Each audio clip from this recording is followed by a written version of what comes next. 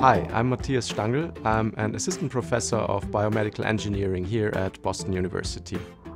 I've always been passionate about technologies, finding engineering solutions, building devices, and developing computer code and algorithms in order to solve various problems in both research and in everyday life.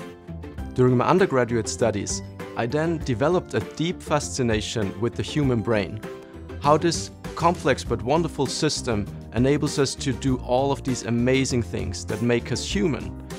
The intersection between cognitive neuroscience, neuroengineering, and data analysis turned out to be the perfect research area for me, where I could combine my passion for technology and engineering with my fascination for the brain.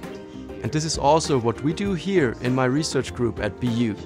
On the one hand, we develop and we use cutting-edge technologies and engineering solutions, such as different neuroimaging techniques, neuromodulation and deep brain stimulation systems, virtual and augmented reality tools, as well as specialized data analysis algorithms.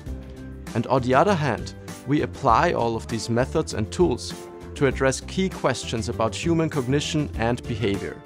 Because only if we develop a fundamental understanding of how the human brain works, and only if we can identify and understand what causes impairments in this system, then we will ultimately be able to develop effective interventions and therapies for individuals who are affected by neurological and psychiatric disorders.